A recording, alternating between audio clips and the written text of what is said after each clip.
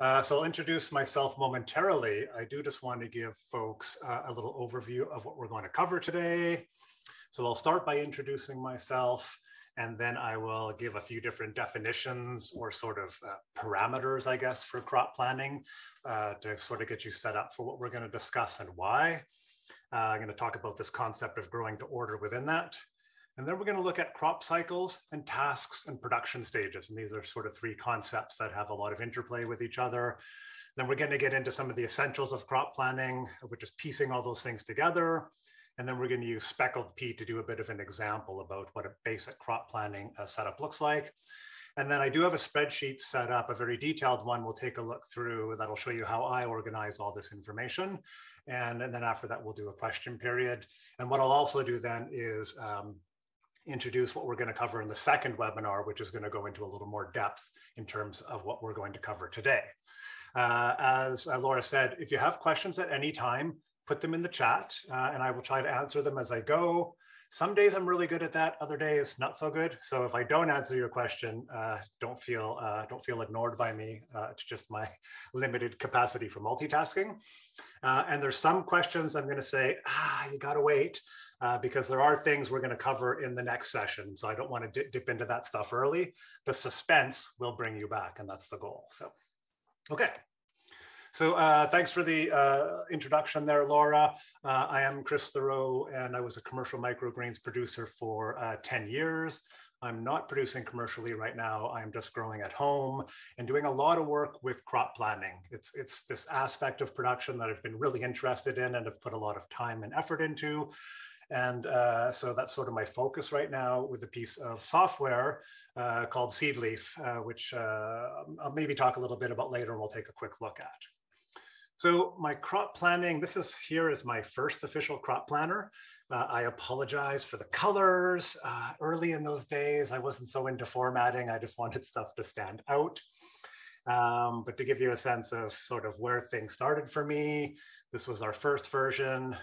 Then I made the very wise move to uh, pastel colors, which significantly reduced my stress level when looking at spreadsheets uh, because they are very stressful to look at.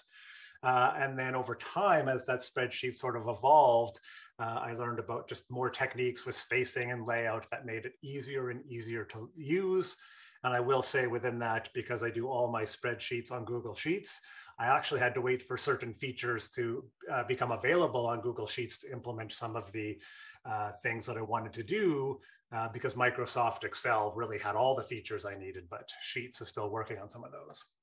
So I really went through an evolution of spreadsheets, which really helped me understand crop planning to a really a, deeper degree. And then that evolved into our online version of the crop planner, uh, which, uh, which is called Seedleaf. And so that really takes a lot of the, the, the intensity of a spreadsheet out of the picture. And so the reason I talk about that evolution in, in, in, spreadsheets to an online version actually has to do, again, through that through developing these spreadsheets, it's really helped uh, my understanding of crop planning and the principles and processes. And it's kind of one of the reasons I wanted to do this series is to help you uh, evolve your understanding of crop planning as well. I actually think it's one of the most important aspects of production in terms of keeping you organized and focused.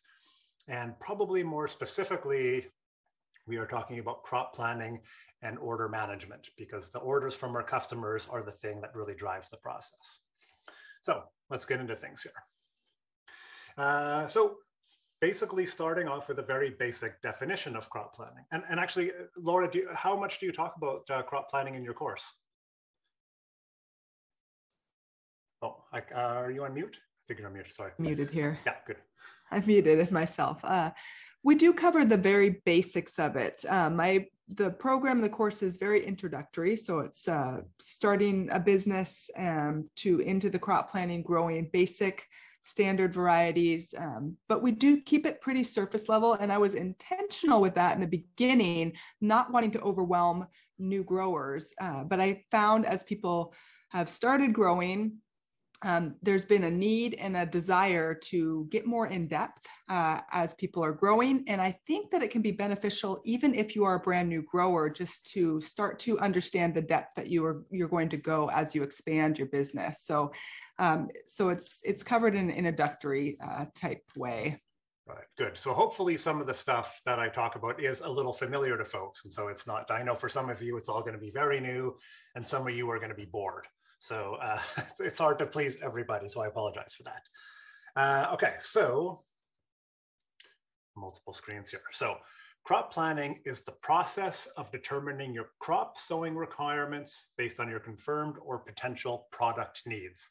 And I know that's very sort of a mouthful, but basically, I mean, you sow what your orders tell you to sow is kind of what that uh, breaks down to.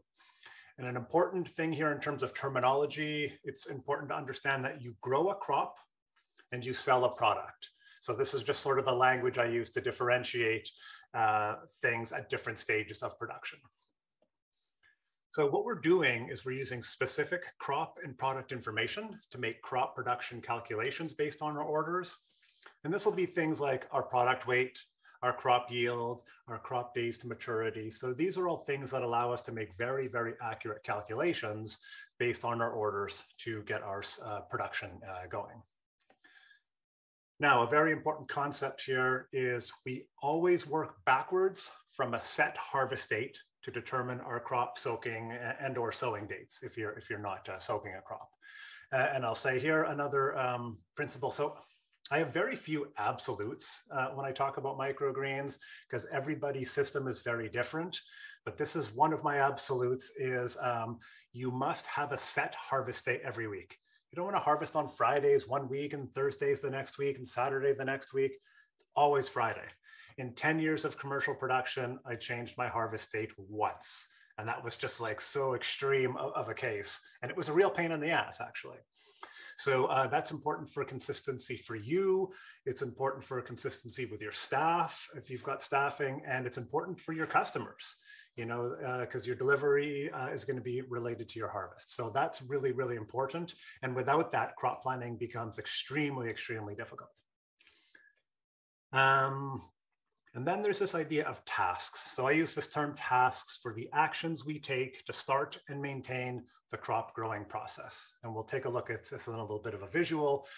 Uh, but each task basically represents a transformation, seed to crop, crop to product. And so these are the things uh, I like to focus on. Things like watering. Uh, watering is also a task, but it isn't a transformative task. It's just a, it's a, uh, a supportive task. So don't worry about that, that terminology so much, but I'm really interested uh, in the transformation processes in terms of how to do our crop planning. So some of the main tasks we look at are soaking our seed, sowing and covering our seed, uncovering our seed from a germination state or uncovering our crop and then harvesting that crop so it becomes a product. So this is stuff that should be fairly familiar to uh, a lot of you already. And so the driving sort of thing behind this is that every crop you sow should have a purpose. You should never have to guess at how much of any crop to plant. You should always know what you're planting and why you're planting it. So that's the thing that's driving this whole, whole process. So some of you may, I mean, you might cover this as well, Laura. Some of you might know this idea of sort of growing to order or sowing to order. And this is the idea that you are only growing the crops you require to meet your order needs, which is kind of uh, what I talked about already. You're not just sort of going, ah, let's try 25 trays of this this week. You are growing 18 trays because that is what you have calculated you need for your week. So, oh, sorry, I didn't have that up there. Okay. So yeah, that's uh, really, and this comes down to uh, some important principles in terms of why crop planning is important, which is what I'm going to look at now. So I'm going to do a quick pause there. I mean, I covered a lot very quickly, anything not making sense to anybody in terms of the terms and everything I've laid out there? And again, you can throw something in the chat at any time uh, because we're moving pretty quick. At a certain point, he's like, ah, is he talking about a crop or a product? Is this a task or a cycle? So uh, throw it out anytime and hopefully uh, I can catch it as we go. So why is crop planning important and, and, and why are we, we sort of teaching you about, about it? So number one, it helps with production accuracy. It really, the basic way of looking at this is it helps ensure you don't have too much or too little crop. Now, if you have too much crop, you've been spent, you spent money on seed, soil, and labor to grow a crop that really doesn't have a home. It, and the, the, the, the thing there is it's going to get wasted, it's going to get composted, or you're going to be forced to eat way more microgreens in a week than you were expecting. Um, and if, if you have too little crop, you're not going to have enough to meet your product needs, which means you're going to lose sales. So having the, the right amount is really, really important. It's very, very rare that you get it exactly what you need, but it, it gets you in a really nice range to make sure you're going to uh, have a good balance there. So crop planning really helps uh, calculate and organize our crop production cycles and our crop needs.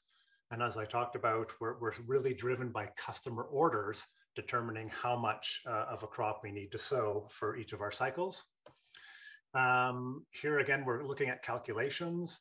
So if you have a product that's just sunflower shoots in it, that's pretty easy to do crop planning for. But if it's got sunflower shoots, arugula, and kohlrabi, then the calculations get more complex. So having a process for that goes a long way towards keeping you organized and on track. Uh, it's a great way to help organize your customer orders. Because your orders are driving the process that's something you need to um, you need to record and that's going to help you on harvest day on packing and for deliveries. So this helps with all that. Um, really very useful for financial and business planning. And this is where crop planning is really can be really useful if you are new to growing microgreens and the idea is you can use your crop plan and your product prices to get some estimates about what a season or what the finances might look like for your business for a year. And this can actually, this is really crucial if you want to do a business plan to get a loan, or you want to do a business plan just to better understand your business. Knowing all these little details seems like a lot, but it's the only way that you can really accurately do your finances because you need to have figures to work with in order to generate those numbers. That said, many business plans just kind of make up numbers and that's not really a business plan. That's not really going to help you in the long run if your numbers aren't accurate. Uh, really useful for record keeping. So having a spreadsheet or an online program that helps you, uh, it's good for sort of your own auditing. Uh, if you want to track something, or as you get bigger, there is a chance you might be audited by a local health authority, or uh, you know if you have any sort of certifications or anything like that record keeping is super important. And so crop planning and recording is kind of the way we, we make those records. Um, and in general, it, it, saves you time and money. Um, once you get into a good crop planning process, uh, you get into a pretty good routine, and that really just keeps you on task and focused on what you need to be doing. And so when you've got preset calculations, uh, you know, everything sort of in your system, uh, it makes it really easy. It can take a lot of time to set up, but most things we do are really front loaded in order to make sure in the future things are easy after that. Okay, so going to move on to our next section of crop cycles, uh, looking at these ideas of elements, tasks, and stages here. So again, if folks have any questions about uh, what we just covered, go ahead and throw them in the chat. And I have a feeling questions might come up in this section, but hopefully I've laid out this graphic in a way that makes sense. So, all right. So I've mentioned this already. Our customers place orders of our products, and when they do so, it basically generates tasks. So the tasks are the steps we need to take to start and maintain our crop cycles. And without an order, there's really no point in growing anything. So that order really kicks the whole thing in, into, uh, into uh, action. So the process starts with seed. Uh, you know, without an order, seed is just something you have to store, which makes it not very useful. And so what we want to do is we want to transform seed into a crop. So the task that we do that is either soaking or sowing the seed, uh, depending what it is, and then covering it. As I'm sure you know, we generally sow seeds on the soil surface, cover it with another tray or some version of that. Uh, if you don't know that, well, now you do. So that's how it happens. Um, now, once you have sowed and covered your crop or, or your seed, you now have a crop. So like sowing the seed is the process that transforms your seed into a crop. So my sort of rule is as soon as that seed hits the soil, it's a crop. We cover it up, and then it starts its first stage of growth, which is just the germination stage. And microgreens grow through this, your annual vegetables in your gardens go through this. So it's something that's probably familiar to a lot of people. And that's our first stage. As it grows, the germination stage ends and we uncover that crop so it can get light and photosynthesize, which brings us to our second stage, which is our photosynthesis or greening stage. People have different names for this, but what we're basically trying to do is convert light energy into sugars so the plant can continue to grow. Uh, once the crop reaches the end of its uh, growth cycle, it is time to harvest. So this is another task that creates a transformation. And that's the thing that transforms our crop into a product is the harvest time. And then of course, once we have a product, we can deliver that to our customer. So that's kind of the flow of things. Our process starts and ends with the customer placing an order and then receiving that order. And as many of you have probably experienced that you can, um, uh, you know, you get into a bit of a cycle with this. So that stuff becomes easier and we'll take a look at uh, some of those cycles uh, momentarily here. So I'm not seeing any questions. So hopefully everybody's just nodding along going, okay, good. Oh, that makes sense. Oh, that's interesting. Um, or something along those lines. So these are sort of the, the, the parts that I want to break things down into just taking the customer out of it. So when we look at it from this point of view, we kind of have, okay, I'll come back to that question. Okay, so here we're breaking things down into the sort of three things that are, that are interrelating. Or your elements, which is our, in this case is our seed, our crop, and our product, our tasks, which is soaking, uncovering, and harvesting, and then our stages, which are basically our germination stage and our photosynthesis stage. Now, some of you might have some more stages within there. Some people do a blackout. There's a, there's a, a more complex crop cycle for sure, but we're going to stick with this very, very uh, simple crop cycle in this regard. And again, the focus for me is really on the tasks. Uh, and these are the things I'm most interested in because they are the actions that keep our crop production cycle in motion. And, and, and it's kind of the task is answering this question of what do I need to do today or figure out today to keep my prop my crop production cycle on track. So that's what our tasks do. Again, watering is a task and, and whatnot, but watering is it's it's not a transformative task. It's just maintaining your crop. So the transformation is key because the timing is really important. If you have a set harvest date, if you don't sow your crop by a certain date, that crop is going to be late or if you sow it too early, that crop is going to be early. And you've all had these problems, I'm sure. So, uh, okay, so determining the best harvest date for you. So now this is, again, this, this is a, it depends uh, answer. Um, so determining your best harvest date is not, is going to be about a, a couple of things. One is going to be what works best for your schedule if you're just getting into microgreens production, chances are you might be working somewhere else. So, how are you going to balance this all out in terms of when your time is most available for harvest? It tends to be one of your biggest um, jobs of the week because there's you're harvesting, you're washing, you're drying, you're packaging, you're refrigerating. You have all these steps to go through. And so you need to think about that in terms of how that might work with a schedule if you have limited time the other thing is, is what do your customers want or when would be the best time for your um, customers to, to, for you to harvest and deliver? Now, our model was really based on harvesting and delivering in the same day. Uh, lots of reasons for that, which I can talk about later if we have time. Um, and so for us, we ended up with this Tuesday, Friday schedule. So we did two harvests a week. And one reason to do that is we all we could always give customers a fresh crop. So grocers, restaurants. I mean, if you if you're only delivering once a week, by the time you get to the day before your next delivery, the product they have on hand is six days old, so it's not as fresh.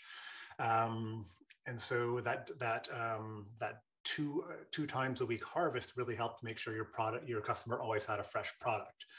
Second is, I mean, when you think about the flow of a restaurant or maybe a grocery store, your, your Friday harvest really determines your sort of weekend volume. Uh, so restaurants are often busier on the weekend than they are during the week. So you get Friday harvest to get them through the weekend and into Monday, and then your Tuesday harvest uh, and delivery gets them through the week. And so those might be different volumes. Maybe you're dropping off four pounds of something on Friday, but just two pounds on Tuesday. So you can balance that stuff out and shift it along. Uh, the other thing is is if you were doing a farmer's market, you will generally want to harvest the day before your farmer's market. And a lot of farmer's markets are on Saturday. So that really pushes that Friday harvest. So um, yeah, there's a lot of things to, th to factor in, but it's really going to be a matter of your needs and your customer needs. And if you're doing a farmer's market, that Friday for this Friday harvest for the Saturday market is almost an absolute. So hopefully that gives you some insights there, Melanie, on that. Um, okay, what's next? Okay, so now I'm going to take a look at these, these uh, what I'm calling the crop planning essentials, because um, it's kind of a mix of the elements and the tasks all together. So we're going to start out, uh, so we're going to look at seed, crops, products, customers, orders, harvest dates. And so these are things I've already um, looked at, and we're going to take a look at them in a little more detail to understand the characteristics of them that we need to take into consideration. So starting with seed, and for, for this um, presentation, I'm, I'm just gonna focus on speckled pea. It's a crop I've grown a lot of. I'm sure most of you or many of you are growing speckled pea or a similar pea. So hopefully it's a crop you are uh, familiar with. So in terms of characteristics of our seed, uh, so we've got our soak time. How long do we need to soak the seed? Uh, in some cases, you're not soaking the seed. In some cases, it might be 20 minutes. In some cases, it might be a couple hours. And in some cases, you might be soaking the seed overnight. And in the case of pea, this was always an overnight soak for me, which made crop planning a little more complicated because now I was soaking something on one day and sowing at the next. So the second thing is our sowing rate. Uh, you know, how much seed are we using per tray or, or growing unit? And this is really important in understanding our costs associated with that. And then, yes, of course, our cost per unit weight. So uh, this is for cost calculations, and uh, this is going to depend on how much we are paying for our seed, and that might fluctuate over time. Uh, and you can can include your delivery in that as well if you have a delivery charge for your seed. So it really helps you calculate what your production costs are very, very accurately. Okay, so that's our seed. Again, we transform our seed into a crop. So our crop has some uh, important characteristics. So two, the, the main one I use is this idea of days to maturity. And this is used in vegetable production as well and, and flower production. How long from sowing, how long is the period from sowing to harvest? And so, you know, with, with vegetable crops, you're looking at 30, 60, 90 days. But with microgreens, you know, you could be as low as six or seven days and up to 20 or 30, depending on the crop. So there's a lot of variability there. So uh, that's our days to maturity. And then I use uh, the term days to germinate. And so this is how long the crop stays covered after sowing. And those two things are, are obviously related and those days to germinate are included in those days to maturity. Uh, then we need to think about our crop volume. And this is kind of the tray, you know, what I, the main thing here is your tray size. And, and why I say that is we think, well, pea seed grows a pea crop, but pea seed can actually grow multiple pea crops. And we'll talk about that in a little bit. So it's important to distinguish your seed from your crop because they can be different. Uh, and then, oh, sorry, uh, last one there is our expected yield. So we really need to know what each tray of, of microgreens can yield because that's going to determine how much of that we need to grow in order to meet our product needs. Excuse me. So now looking at our product, now the product is our front facing, uh, in, es in essence, it's our front facing crop. It's the thing that customers engage with. Your customers don't order crops, your customers order products, which are made up of crops either a single crop, like we're talking about with pea shoots, or multiple crops if you're doing something that's mixed. So uh, the product has to have a crop or crops. Uh, it needs to have a size uh, or weight. You know, those are kind of the same thing. Um, and then they need to have a price. And so The size and weight relates to our crop yield. Those are the two things that interact to determine how much we need to sow. And then our price obviously determines the revenue that we generate from that uh, product. Now, in terms of customers, from a crop planning perspective, the only thing we really need to know about our customer really is the customer name. Like, who is this product going to? But there's two other uh, things that are quite important in terms of record keeping and understanding where your sales are going. And this is uh, something that crop planning really helps organize is what type of customer it is. so they could be a restaurant, market, wholesale, um, CSA, uh, anything like that, cafe. You can create as many different categories as you want. And that way you can understand on, uh, you know, on a seasonal basis, which sort of uh, customer type uh, is, is uh, your products are going to. And that allows you to focus on the different customers depending on how those sales look. And then having a delivery address, you know, for a lot of times you're delivering and maybe a route. So if you have many, many customers and need to send folks out on different routes to get to all those customers, that's some good basic information about your customer uh, to record. and then our order. So, excuse me. Again, our order is driving this whole process. So an order requires a customer or a virtual customer, and I will talk about virtual customers in webinar two. It needs a product or products, and that would include a product size. Uh, we need a quantity of each product, so how much you need, a price for each product, and then a single harvest date. So I organize my uh, orders based on a single harvest date, even if it's the same customer ordering multiple times a week. So if I have a Tuesday, Friday harvest and delivery, and a customer wants a delivery on both of those days, I consider those different orders. And the reason being is they often, you know, they often change at different rates. So it could be that a, a, a, a, client says, well, we're getting busier on the weekend, so we need to up our Friday order. Or we're getting slower during the week, so we need to lower our, our Tuesday order. So I find keeping those separate actually makes crop planning a little bit easier, uh, even though it means more spreadsheet cells. So it's a, it's a pain like that. Uh, and then the last thing is our harvest date. And so I've talked about this quite a bit already. It's really important that you have a set date for your harvest. Do not change it around unless it's an extreme emergency. And even then, try not to do it. Um, and keeping in mind that you can have multiple harvests a week and you know the driving factor behind that for for me has always been uh, the ability to give people the um, freshest product possible. And it actually helps you uh, regulate your your product uh, with any customer. So you can sort of tweak it twice a week instead of only once a week being able to sort of change the volume that you're giving to them in terms of products. Okay. So those are our sort of essentials that are driving our process and our calculations. So I'm going to move on to an example with uh, speckled pea, but did everybody, uh, did that make sense to everybody? Or any questions on that? Hope there's, hoping, hoping there's some nodding.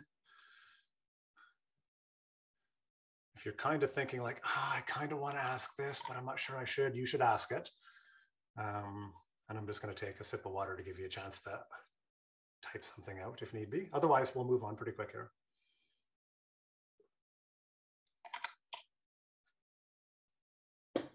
The thing is, I know as soon as I start the next section, somebody's going to start putting a question in there. So that's the thing.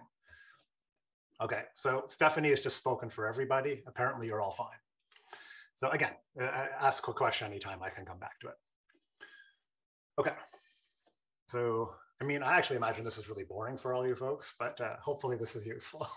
Uh, okay, so let's take a look at, at our speckled pea.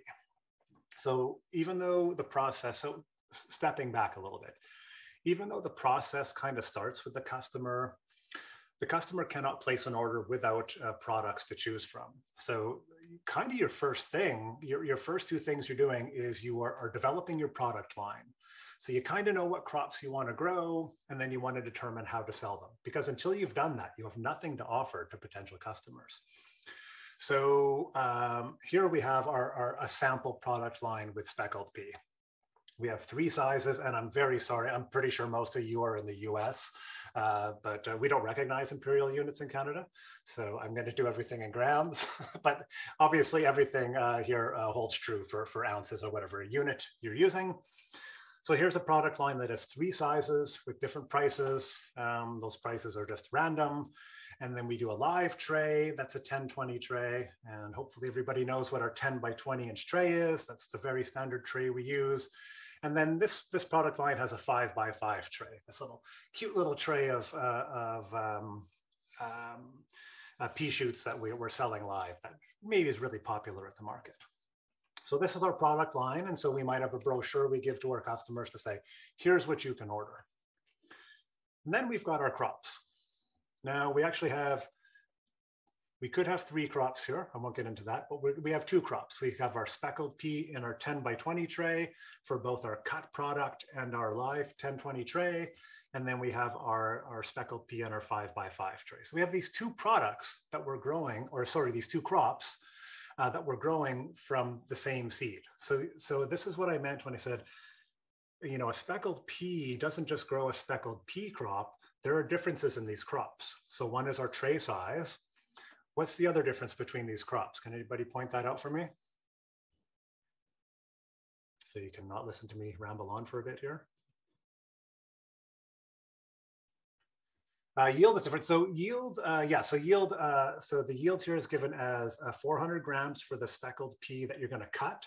And it's given as one for the five by five tray because uh, your five by five tray yields one five by five tray. So that's how we look at it um, in terms of uh, how we do the calculations. So yeah, I think I saw, yeah, so days, a couple folks uh, saw days to maturity. So, oh, hit that button accidentally. Let's go back there.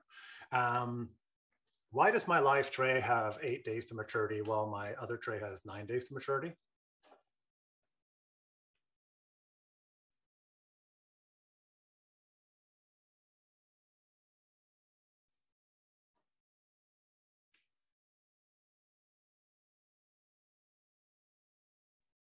Oh, is this a stumper? Yes, so that's, that is, yeah. So basically, I mean, you've got, as soon as, so, uh, okay, this is good. So yeah, so you're, you're, you're getting it a little earlier. Um, now, my five by five tray here is a crop. When does that five by five tray become a product?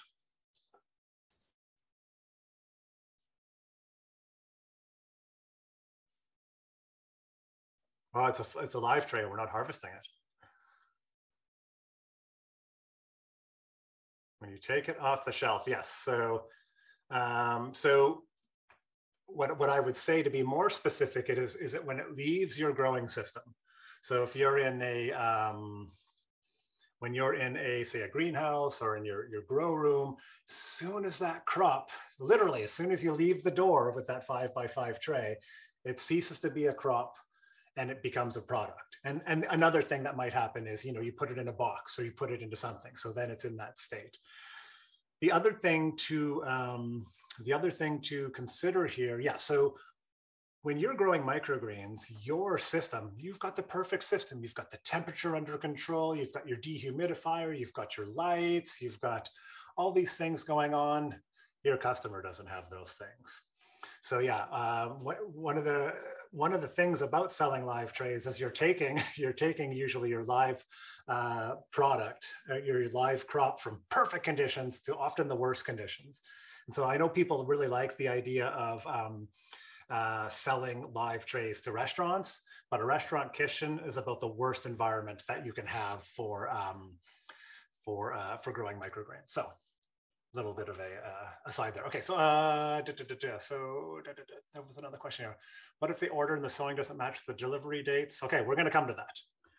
This is this is this is this is the this is the sixty-four thousand dollar question actually. So we'll come to that after. Okay, so this is this is just our looking at speckled pea. So we have all this information here between our crops and our products. So let's look at how all these things relate. Let's look at our product orders, our theoretical product orders for June 24th. For all our customers, we have 25 small pea, 100 grams at five $5 each. So 2,500 grams. So we know our, we know our weight. and we know our revenue. Eight medium pea, 20 large pea. So again, I'm just displaying this information here, but our spreadsheet would just calculate this all for us. Very, very simple calculations generally. So we have a total weight of 13,500 grams. Don't even have any idea what that is in pounds, but 27 pounds maybe. Um, and a revenue of $605. And in this order for the state, we also have four live trays at, uh, I think they were $15 each. So that's $60. So we have some information here that we can tie together for all these things. So the very, very basic calculation here is our total weight of all our products, which is 13,500 grams, divided by our yield per tray, tells us how many trays to plant. Like, I mean, this is, I mean, you see it, it's like, oh yeah, duh. Um, so um, it, it's very obvious, and we'll talk about why it gets more complicated in a second. Uh, now, how many of you have, have, uh, have sowed 0.75 trays in your life? I really hope it's none of you. um, I'm just going to assume people are frantically typing, no, never, uh, but then decided not to. So yeah, so we're going to round that up to 34. So we're always, as a, uh, we'll talk about this in the next session a bit, you always round up. You're never going to sell a portion of a tray. 33.8 trays rounds up to 34 and 33.1 trays rounds up to 34. We don't use the, the rounding up at 0.5 rule. We always round up. 33.1 uh, if you need 33.1 trays, sowing 33 trays will not give you enough crop. So you always sow a little more in that regard. Uh, we have our four live trays, of course, that we need to include in there. And so we are basically sowing 38 10 by 20 trays, and the value of that is going to be $665. So they're, they're very, very simple calculations, but they, there we go, thank you. um, the uh, the very simple calculations, but part of it is organizing things and keeping it in a structure that you can understand starts to become very very difficult.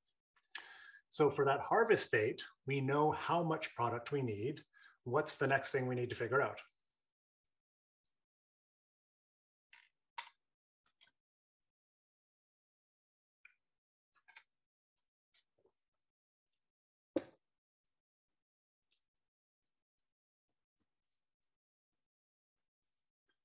Yeah, so we're gonna need how much seed, yeah. How much to plant? Well, we know how much to plant. We, uh, we wanna plant 38 trays.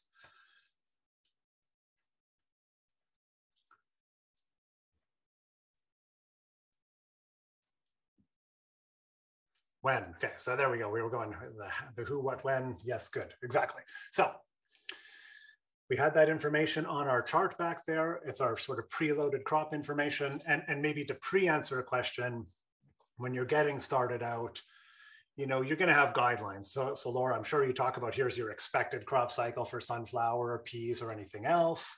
So that's always a good starting point. If you don't know, you just start with something. But then you might realize, you know what? You know, it's not nine days in my system. You know, maybe in Laura's system where she is, it's nine days, but it's eight days for me. It's warm here. You know, it's low humidity. It's perfect conditions. So, so you adjust that stuff as you go. So a good starting point is, is what's out there. And there's lots of guidelines for, for lots of different crops out there. So our harvest date is June 24th. Our days to maturity are nine. And so that tells us what our soaking date is, which is June 15th. So we'll take a look at a visual of this in a second. Again, uh, this, this pea is an overnight soak. So I'm soaking on the 15th and I'm sowing on the 16th and then it sends, spends four days in a germination stage, so it gets uh, uncovered on June 20th. And as a little bit of a thing, uh, you know, it's important to do your crop planning calculations uh, to a certain degree, but my, my sort of rule of thumb is to not count on your crop calculations for everything. So this uncover date, even though I calculate it, I don't ever look at what my software tells me for an uncover date. I always look at the crop. Uh, and part of it is, you know, an uncover date of June 20th doesn't tell me, should I uncover it in the morning? Should I uncover it in the evening? Should I maybe uncover that Tuesday night or maybe Wednesday morning? Like there could be some variability depending on, on generally on temperature. So it's really important to not get to that your sowing date and stuff is usually pretty solid, but other things like uh, your uncover date or stuff like watering, that's going to change a little bit. So that's something you should really use your intuition and experience with to determine you're doing that um, at the right time. Uh, and you, as I'm sure many of you experienced, you could be looking at a crop on, on Sunday night going, oh, that almost needs to be uncovered. And then you come back Monday morning, you're like, oh my God, that should have been uncovered already these crops are on very, very fast cycles. And so uh, you need to learn in your system when the optimum time is. And yeah, from, from morning at nine o'clock till afternoon at three o'clock, your crop can go through significant change. So yeah, so not getting too caught up sometimes in, in what your crop plan says, despite all the other stuff I've told you already. Uh, it's really important for you as the manager of your production system to use your intuition with that stuff as well. So if we look at that, going back to sort of our display here, our harvest date is June 24th. We take our harvest date minus our days, nine days to maturity. Oops, uh, takes us back to June 15th. So that tells us when our sowing date is. Our days in germination are four. So we go from our sowing date and we count now forward. And that tells us our uncover time is June 19th. So this is important. Like when I'm modeling or creating a spreadsheet, this is the sort of stuff I have to go through in my head uh, in order to do a calculation. And th now there's lots of different ways to do this. So for example, I mean, if you look, where are we here? There's sort of the space right here from June 19th to June 24th, which is your, your photosynthesis stage. So another way to do this instead of using your days to maturity and your days to germination could be, well, I'm going to calculate it based on days in the dark and days in the light. And days in dark plus days in light equals your days to maturity. So people, you can take different approaches to how you do the calculations here. The reason I use days to maturity is because that's a very well-established uh, term and concept to be used in growing just about everything.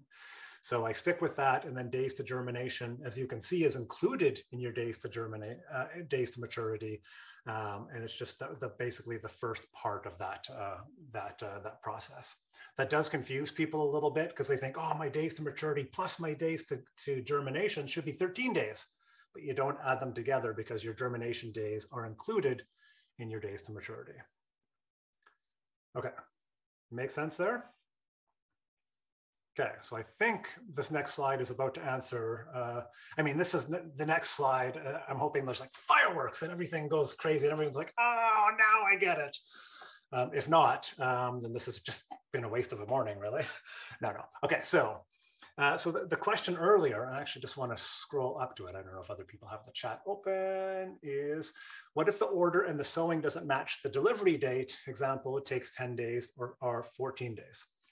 So this is exactly why we do crop planning. We don't sow everything on the same day in order to harvest. This is why we work backwards from the harvest date with our individual crop information. So we've just been talking about pea shoots, but so here you can see, oh, I'm down here. So pea shoots up on the top here, but my cilantro uh, cycle might be a day longer. My sunflower shoots might be a couple days shorter. My radish shoots are even shorter. So what we're doing in order to get everything on that um, on that that harvest day is we're determining a soaking or sowing day for each crop individually. Um, so we could have two harvest days, but multiple sow dates.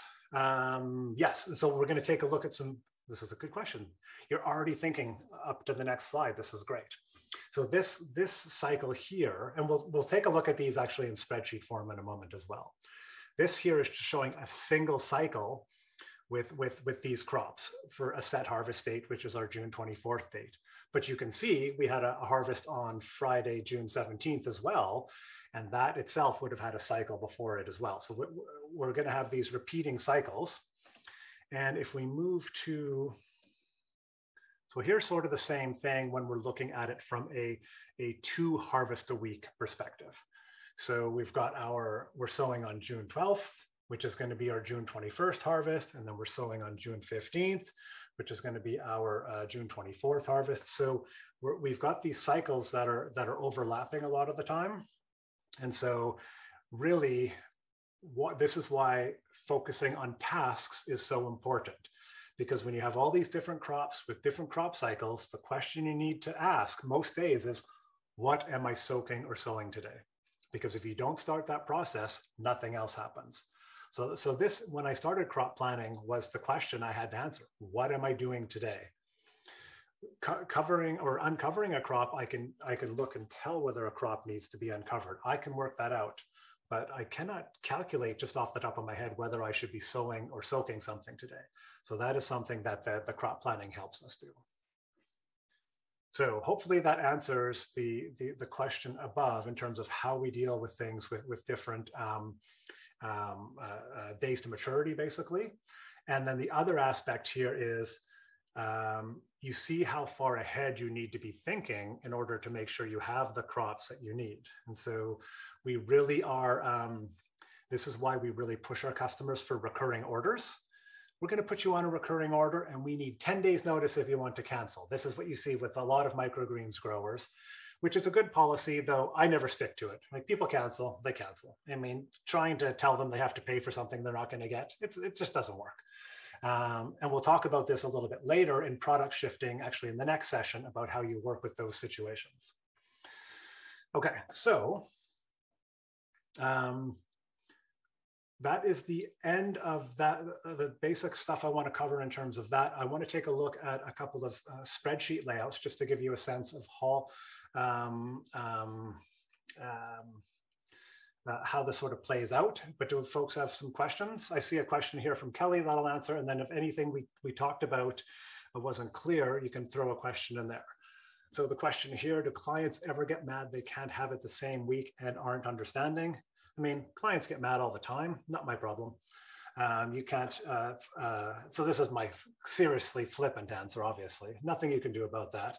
Um, but um, we're going to talk about this in session two uh, when we talk about uh, crop buffers and shifting products. Because the, the question you're asking is, well, if I'm only if I'm only planting based on my orders, how do I increase my orders and account for that? So this is essentially what you're asking there. And we'll talk about that in the second one uh, in terms of how we do that and uh, different ways. Yeah, there's lots of different ways to do that. Uh, and again, the idea is to not plant too much, but have a little bit extra to account for those orders. And there's a couple ways we can do that. Is it possible to start and harvest everything on one cycle? You mean everything having the same sowing date and uncover date and harvest date? Is that what you mean, Rachel? No, can't do that. I mean, to a degree, um, no. I mean, you really can't. Some stuff just grows too fast. Some stuff just grows too slow. You cannot have the same cycle for basil as you do for radish. Basil can be 20 to 30 days. Radish is seven days. Could you drag radish out to 30 days? You could. Be the worst radish ever, but you cannot get basil down to seven days. So this is why the, the planning becomes so important. Now there's some crops that you can, if, if, if you've got uh, some things on a seven day cycle and some things on an eight day cycle, you can kind of tweak things, but generally you're going to do better to find the cycle that works best for that crop because that's what's going to give you the best crop. That's what's going to give you the best product and that's what's going to keep your customers coming back. So you don't want to force too much. And, and we've done this. I definitely have forced things to fit my schedule uh, and it, it can uh, it takes a, a little bit more management because you're stressing things out to a degree. So in our production system for the food peddlers, we had everything at a very high temperature. I mean, temperatures that would most people would flip out at seeing. You know, in the summer we'd be, you know, 90 degrees Fahrenheit in our production area, and that really shifts uh, crop cycles. Um, but it also helped us fit our schedule better. So um, yeah, you can only change things a little bit. So one thing you might do, for example, if you wanted to slow down a sunflower or a pea crop, is you soak it for a shorter amount of time or you don't soak it at all. That means it's going to take longer to mature because it doesn't get that sort of uh, catalyst that you get from soaking. Um, but the idea is for you to find the optimum growth cycle for your crop so you get the best quality crop you can and that's what's going to give you the best product. So shift things a bit, but if you try to cheat too much, you're just going to pay for it in crop crop quality. Yeah, so that's it. And so that like like that, um, you know, like that. Um, just want to go back to the cycle. Yeah, so you see here, um, yeah, I mean, this is, and this was is, is what it's like, and it gets. I mean, it can be frustrating because we had, you know, we had about seven to ten crops going at a time, and what we found there was like a major planting day, like Mondays and Thursdays were always big planting days. Our our um, our sunflower and our pea would get planted then, and those were the bulk of our sales. But then on Tuesday, which is our harvest day, we had to sow the radish and the wheatgrass. And so sowing crops when you've got harvest to do can be a bit of a pain in the ass but that's the reality. So you learn to build um, routines into those cycles. So, so yeah, so that's basically you, you, you will learn to create a weekly routine uh, around your crop cycles in that regard. Uh, oh, so you're thinking of edge. So you're thinking of uh, so short answer no, Kelly. Um, uh, scarifying the seed. That's not something you generally have to do with with uh, microgreen seeds. I mean, if you wanted to try something like, um, I think lupin, for example, they, they think you should scarify it. It's just, um, yeah, it's generally not, uh, I mean, that would just be such a pain in the ass, though it can be done. So no, most microgreen seeds are, are pretty quick germinators, don't need a lot of, um, don't need a lot of prompting other than a, a bit of soaking. Yeah. yeah, we're trying to avoid extra work at all costs here. Um, okay, so you can continue to ask questions. I'm going to switch screens to a different, oops, go. And I'm going to, I've got, now we're going to take a look at, oh, this is going to, actually, what I'm going to do, so I'm going to shift this up here. share this way.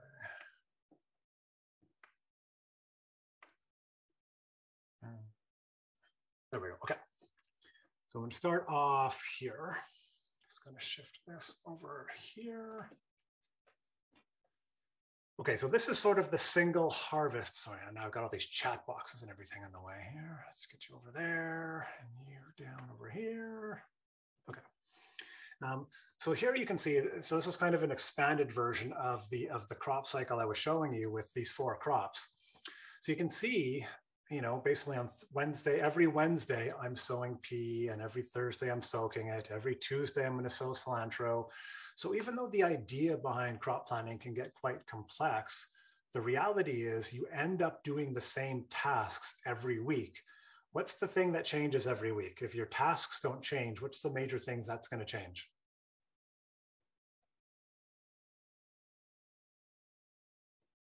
So your orders are going to change. And what is that going to change about your, uh, your soaking and sowing?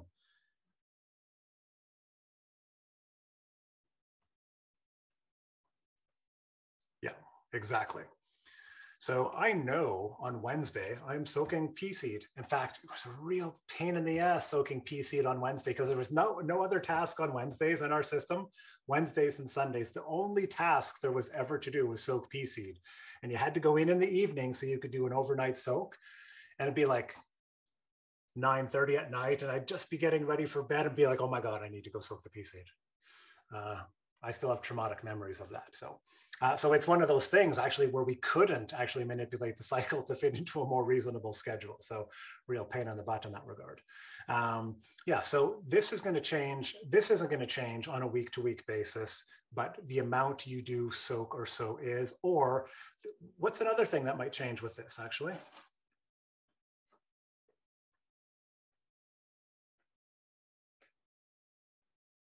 Variety, exactly. So we might introduce uh, we might introduce a new crop, or we might actually have no orders for a certain crop in one week, so it won't show up. It'd be like, all right, no pea orders. We don't have to soak on Wednesday, um, though we probably would soak some anyways, just in case. Um, so yeah, you might have a variety that didn't get um, uh, that didn't get uh, ordered, or you might introduce a new variety. There's a few things that we would do on a seasonal basis. Uh, so instead of overnight soak, could you soak longer and start in the afternoon? Yes. Uh, I found my experience with pea is they need 12 hours. Uh, like they really needed that 10 hours was wasn't often often wasn't enough and 16 hours was too much. Uh, so I found there was this real sweet spot almost at exactly 12 hours. And so in that system, you know, if I sow at seven, soak at seven in the morning, that means I'm sowing at seven at night. That was actually just as big a headache. So we found the overnight soak actually made the most sense. Uh, but you could, and it might be, you know, we we didn't have a day that that lasted that long. Our days ended up being pretty short. So yes, in theory, you could you could be doing that, um, but we just found the overnight soak worked best for our system, despite my whining about it there. Um, yeah, so we might introduce new varieties or crops. The other reason this might change would be with seasonality. Uh, you've got sort of your spring, summer, fall, and winter seasons, depending where you are. There's sometimes there's massive changes between those seasons, and sometimes there's just little changes. So we would shift our crop cycles. When it got cooler, we might add a day to crop cycles to give them a little bit more time. And when it gets hotter, we might reduce it by a day. So there might be certain times in the year where you do shift the crop cycle of some crops, and that's going to change your routine a little bit. So something to keep in mind there, but that is not going to be something that happens on a week to week basis. Um, and then just taking a look here. So in this system, we're looking at these crop cycles when you have two harvests a week. And why this I think is important to consider is we're going to look at cilantro here. So, so cilantro is a, a slightly longer um, crop cycle. So if you look at, if we start with this cilantro here, and we go all the way down to this cilantro here, we sow, sow, sow, sow, and we're doing our fourth sowing on the day we harvest the first one. So in this case, we actually have four cycles of cilantro going at a time. So this becomes a space issue. So you have to kind of, when you have longer uh, cycle crops, that's going to limit how much you're going to take up a lot more space. So seeing something like this, when I looked at this, I'm like, oh, I could have four uh, different uh, batches of cilantro going at a time. So that means, I mean, I have to have space for that. And space is often a limiting factor for folks. So this is another thing this sort of thing really uh, helps out with. Uh, okay, so going back to this idea of understanding crop cycles and what your week looks like. So in Seedleaf, we, we have a week view of your tasks. And this is just sort of a, a general look at what's going to happen this week based on how many trays you need to soak, sow, and uncover. And so you can kind of look at like Tuesday's looking like a pretty big day, Thursday's looking like a pretty big day, and then we've got our harvest day and sowing. So these are days where I know I'm going to need more staff. But on a week to week basis, this barely changes at all. All that's changing is um, how much we're doing and, and this and this model doesn't even change because it's just a it's just all, all, repetitive order so your system will change you're going to get cancellations you're going to get people who need extra stuff for events you're going to get new orders but your cycles will all stay the same so i like this view because it really helps lay out what my week is going to look like and reminds me that every week is mostly the same i'm just really focused on my uh, on how much i'm going to sow of each thing um, uh, what information to use to determine crop cycle. So we covered this, Carol. Uh, this goes to your days of maturity, uh, your days to germination, and then you know how much crop or how much product you need to grow crop for. So uh, this goes back, and you can take a look at that in the recording if you, if you want to go back and look at that, uh, how we use that. So we'll take a look. So what we're going to do here, I'm going to show you the, the spreadsheet, the very ridiculous spreadsheet that I created over many years to do um, these calculations. Now, this is more advanced than the stuff we're talking about here because I didn't want to get into a lot of this stuff. So there's features in there we haven't talked about, but just to give you a sense of how it ends up getting organized in spreadsheet form. Um, so, so I just got to move some stuff around here. Close that, move that there. Okay. So here is my customer list. So here I've got a column of my customers. I have my customer type here. So that helps uh, categorizing our sales by customer type. And again, it's like we got a lot of restaurants, so probably we have a lot of restaurant sales. Uh, and then we have our route here. And this was actually quite important for us at the Food Peddlers because we did our deliveries by bike. And you don't want to be taking unnecessary routes and going over there and then way over there when somebody could be sort of grouping things together. So that was really, really important for us. Uh, this may not be important at all if you're just doing pickups and a farmer's market. You may not have delivery routes at all. So it's one of those things that might be optional. In terms of our seeds, now there's a lot of information here. And here we're kind of, again, we're separating our crop and our seed because seed can be used to grow multiple different types of, of crops. And then as we scroll across, because we know the pricing of our seed and our sowing rate, we're able to calculate really easily what the, uh, what the cost per sowing of a tray is. So it, eh, for these wheatgrass cells, for example, which are just little cat grass cells, it takes three cents in seed, whereas for sunflower, it takes 94 cents for seed. Uh, do, did you ever add extra days of harvest for restaurants? I'm not sure what you mean there, Kelly. So if you if you want to reword or go into a bit more detail, um, I'll uh, I'll keep on this and then I'll, I'll come back to that. Um, so in this in this system in particular, I, I, kept my crops and my products together. So here's my crops along the top here. And, and then I've got all my information down here. So my sowing rate that I talked about, whether we need to soak and for how long, our days to maturity, our days of germination, and our yield. So all my, all my crop information for sunflower is right here. And then I have my product information below. So you can see these end up being very, very big spreadsheets because they have to have a lot of information. So for each of my, my sizes, I have my weight. And then in this system, there's two prices. So there's a wholesale and a retail price. And then um, we've got our tray pricing here. So this is information, you know, again, that I want to have all sorted out before I even start selling. So there's a lot of front loaded work that goes in here uh, to make sure that I have everything I need. So in terms of orders, orders, how you record orders gets more complex. Uh, so complex, it takes a really long time to load. um, way too long for my liking. Um, uh, yeah, if you're just doing 10, 20 trays a week, your, your crop management can be quite easy. But as you get into many, many customers and many orders a week, it, it, gets, it can get to be quite, um, it can get to be quite uh, demanding. Okay, so uh, extra harvest days to keep up with their demand. So no, I would never, I would never um, add a harvest day, I think, just for restaurants. It would have to be, I mean, theoretically, maybe, um, I would just have two harvest days a week. So, like I said, we had a Tuesday, Friday harvest, and that was meant to do our harvest for restaurants, home deliveries, farmers markets, wholesale. We would do everything within those two days.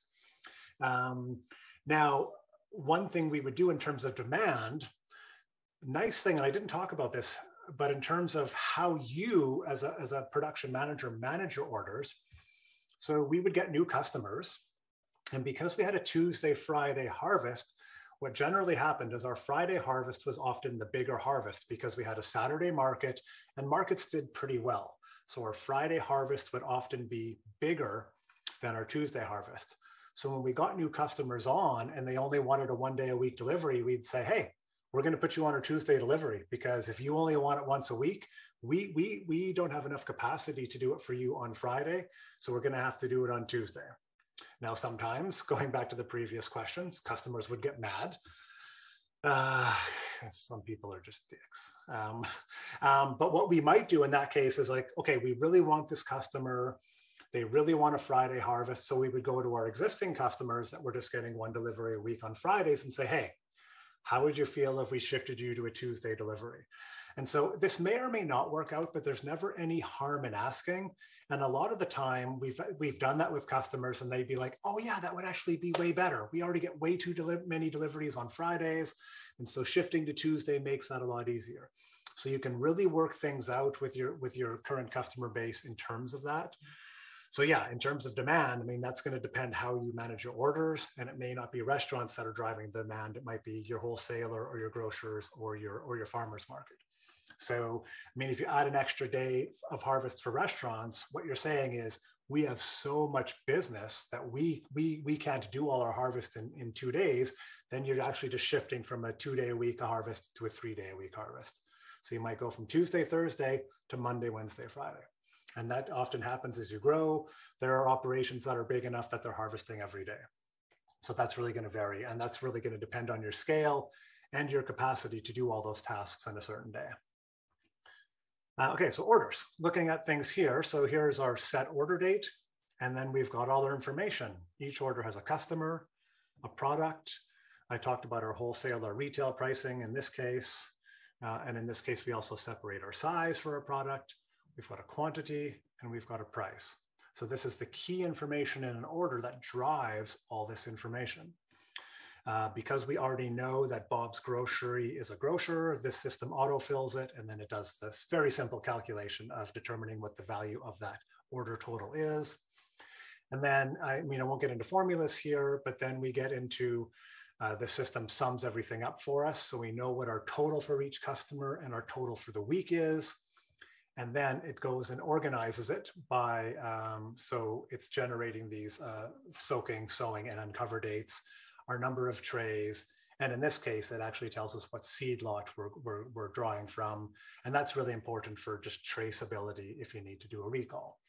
So these are all calculations that are done based on these orders, based on our preloaded uh, product information and our preloaded crop information. So the spreadsheet is just drawing from these to do all these calculations. And this spreadsheet has something like 30,000 uh, uh, rows in this sheet alone. So there's millions of calculations that happen in, in all this to, to, account for a full season of um, production. Now, this format here, I mean, this tells you what you need to do but obviously it's not organized by date, right? This is just organized by crop. And so you don't want to go, it's like, oh, today's June 15th, and then kind of go through here and figure out what your June 15th stuff is. And so what we've done is just created another page that separates things by task. And so I put in a date, it auto fills all the dates, and then I can open these just to take a look. So on Monday, we come in and we just basically look at the task list and go, what do we need to do today? And in the early days, you need to have faith in your system. I mean, you look at the stuff and you're like, that doesn't seem like enough, or that seems like too much. But if your if your calculations are correct, it's going to be it's going to be accurate. And and one of the things we do is we have a little, uh, you know, another calculation here. It says so when we're soaking the seed, what uh, what harvest are we soaking it for? And the reason is, if I'm unsure about these numbers, I can go take a look at the orders for June 28th. So I'll just go back there, close this one. Uh, oh yeah, June 28th is a Tuesday. So you can see this is very big and complicated. I mean, it's so big that Google hates me. Um, June 28th. So I might go in here. So the reason I do this is, is the last chance you have to sort of uh, double check your orders is just before sowing or soaking. So I might go through here and take a look at these. Okay, okay, Bob's Grocery, Jane's Grocery, Bill's Diner. It's like, oh, I'm missing Chris's Cafe's order. I forgot. That. So I, here's a chance for me to put that in. And so if I was to do, I don't even know if there's a Chris's Cafe in here. I don't even have a Chris's Cafe. Oh my God. Uh, oh, let's go with Kate's Cafe. Do we have a Kate in there already? And uh, yeah, so maybe uh, I forgot. Yeah, they're doing the five by five sunflower and they're getting the wholesale price. That is a tray and they're taking 25 of those because they're really popular. And uh, those were say $5 each. So it's the last chance I have to make a change there um, for that date, even though I may not even be selling that on the day. So don't want to get too off on that. So organizing things by tasks really, really helps um, understand what you need to be doing for that day, as opposed to finding the information you need to do for that day. And that five by five, uh, actually, it's probably, you can see up here, it's actually still loading. It has to do so many calculations, this one, in order to, to add that task. So this ends up, I mean, even in a big spreadsheet like this, where you end up spending all your time is putting in your orders and checking your tasks you don't spend a lot of time on your crop and product page because once you have that established, it's done. You might change it a little bit. Maybe you change your sizing, your prices, but you don't do that every week. But every week you take orders and every week you have tasks. So you set up this big system and then you basically spend all your time within these two things, your orders and your tasks. So in that regard, it ends up being fairly simple, uh, but it's a lot of work to sort of get set up uh, to be in that uh, to be in that space. So that is all I want to cover for today. Uh, and, and, I'm, I'm um, happy to continue answering questions. I just wanted to show a quick, because I mean, I know some of you have some questions um, about a few things, and I want to quickly just pop up the, uh, pop up what the, uh, I'm going to cover in the next session is, which is might maybe answering some of your questions that might already be um, in your minds already. So, so yeah, so looking at the second webinar. So one thing I'm going to talk about is buffers. So one is your label weight versus your packing weight. I mean, our, our, our, label may say 100 grams, but maybe we pack for 105. So that's what we do our calculations with. Rounding up calculations we talked about. We use a concept called virtual customers, uh, which is a customer that doesn't exist, but uh, gives you another bit of a buffer for samples or for new customers. We'll look at product mixes and how to do the calculations there. Talk a little bit about overnight soaks, uh, even though we did get into that. And then we'll talk about farmers market planning, where you do not know what your actual sales will be. Uh, you're just sort of hoping you know what they'll be. And then shifting products. And so that's the idea of shifting products between different customers on a week to week basis if you happen to be short in some of your, your products.